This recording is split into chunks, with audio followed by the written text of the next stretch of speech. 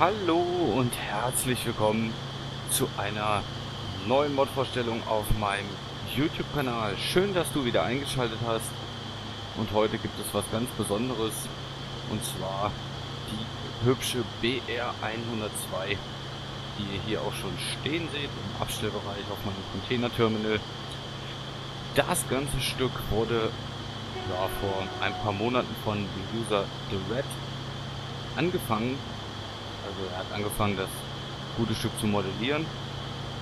Ja, und dann hat er anscheinend keinen Bock mehr gehabt. Der gute Trunky aus dem Transportweaver Forum hat sich dem Ganzen angenommen, das Teil fertig gebaut und veröffentlicht, damit wir uns daran erfreuen können. Ja, diese Lok ähm, spaltet die Gemüter. Die einen sagen, boah, ist das Teil hässlich. Und die anderen sagen, ja, richtig geil. Ich bin einer der Fraktionen, die sagt, gefällt mir wirklich sehr geil. Sieht super aus. Das ganze Teil, ähm, oder besser gesagt das gute Stück, das ganze Teil hört sich ein bisschen komisch an. Das gute Stück wurde von Skoda Transportation gebaut. Sechs Stück hat ähm, die Regio Oberbayern, die DB Regio Oberbayern für den München-Nürnberg Express bestellt. Die sollen 2018 dann mit speziellen Wendezügen, Doppelstock-Wendezügen in Betrieb genommen werden. Ja, basieren tut das Ganze auf der 109E von Skoda Transportation. 2016 im April wurde die erste Lok fertiggestellt. Auf der Innotrans ähm, 2016 vorgestellt in Berlin. Das war die 102003. Das ist auch die Lok, die wir hier haben.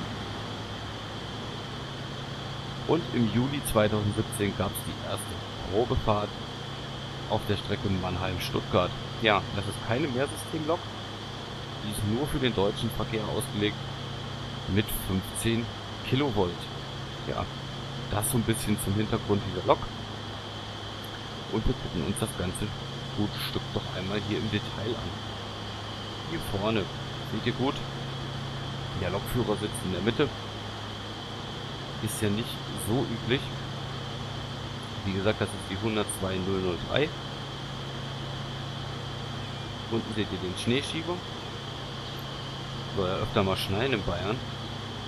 Dann wunderschön texturiert diese Schläuche hier unten. Keine Ahnung, wofür die sind. Ich denke mal, das sind Hydraulikschläuche, Bremsschläuche.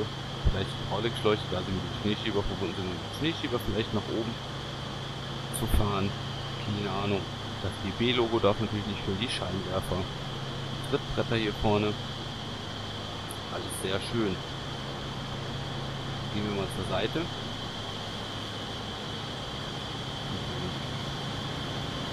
Sehen wir hier schon schön die Lüftungsgitter oben. Einige vorhanden. Pantographen oben. Vorne noch zwei. Ähm, ja, wie nennt man das bei Zügen? Ich weiß das gar nicht. Huben? Hörner? Hörner, denke ich mal damit die Lok auch jeder hört. In dem Fall hier ist der hintere Pantograph oben. Gehen wir mal nach hinten.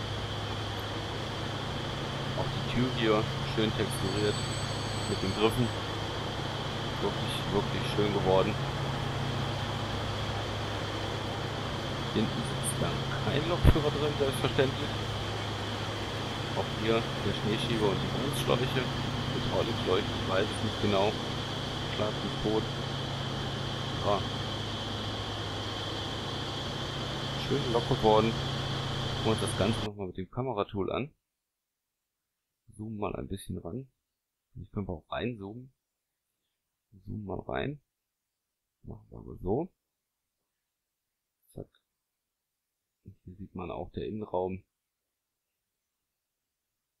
Das Pult, der Sitz, schick, schick geworden. Skoda steht auch dran. Selbstverständlich, die Firma will ja auch, dass jeder weiß, wer diese Lok gebaut hat.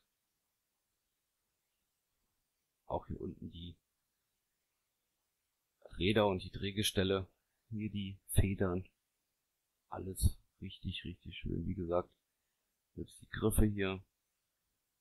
Also die Jungs geben da schon immer ordentlich, ordentlich Gas was die Loks generell die äh, das Rollmaterial angeht. Ja, hier noch so Griffe dran für das Personal, falls es hier vorne arbeitet, damit es nicht runterfällt. Scheibenwischer, hier oben noch ein Warnschild. Sehr, sehr schön. Ja, schreibt mir doch mal in die Kommentare, ob ihr diese Lok toll findet oder ob ihr sagt, die ist hässlich, mag ich gar nicht. Wie gesagt, mir gefällt sie sehr gut. Und das Ganze hier nochmal so an. Sound ist nicht extra ähm, gemacht worden für die Lok. Das ist der Standard-Sound. Können das Ganze nochmal natürlich auch äh, Start drücken. Wie gesagt, hier ganz viele Lüftungsgitter. Ja, das soll schon gewesen sein zu diesem guten Schmuckstück.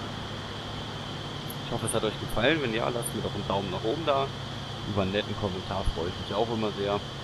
Und ja, ich würde mich freuen, wenn wir uns beim nächsten Video wiedersehen. Und in dem Sinne noch einen schönen Restsonntag und macht's gut, Leute. Ciao.